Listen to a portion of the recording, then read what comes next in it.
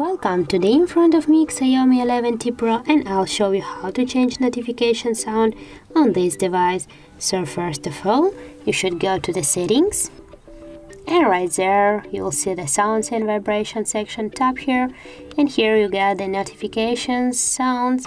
That's droplets now just tap here and you can choose here from these two sounds or you can also tap here to more and you can choose the online or local ringtones on your phone from your recorder, file manager or your phone music.